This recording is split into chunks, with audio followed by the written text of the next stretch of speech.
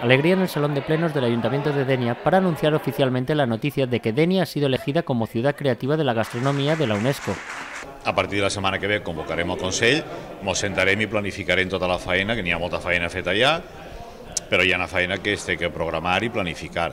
En quant a pressupost, nosaltres ahir, que vam estar en concret parlant del tema del pressupost de el 2016 hi ha una partida, havia una partida preparada per això, faran falta més, però bueno, a poc a poc anirem posant-ho i, i demanarem pues, possiblement la col·laboració i treballarem tots conjuntament per a que aquest projecte al final arribi a ser el que tots volem que siga. El 20 de diciembre del 2011 y el 11 de diciembre del 2015. Del 2015. Estas dos fechas marcan un antes y un después en nuestra ciudad.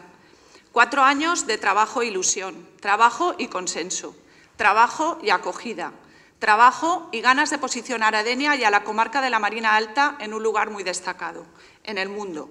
Por algo sabemos hacer y hacerlo muy bien, la gastronomía. Solo puedo decir gracias. Gracias especialmente a Pepa, Cardona por su empeño e ilusión y no puede acompañarnos hoy. Me ha dicho que, bueno, que lo transmita su ilusión y sus gracias. Eh, a Pepa Cardona, a Rafa Codina y a Quique da Costa, porque en ese diciembre del 2011 dijeron adelante con este proyecto.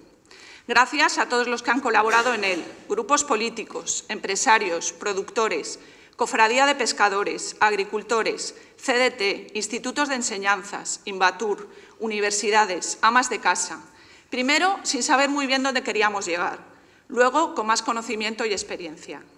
Muchas gracias a todos los que han trabajado porque Denia, con el respaldo de la comarca, sea ciudad creativa de la gastronomía por la UNESCO. A todos los concejales que apostaron y apoyaron el proyecto, Pepa Font, Ana Cringe y Vicente Grimal, al equipo asesor y al equipo redactor, a los medios de comunicación, como siempre.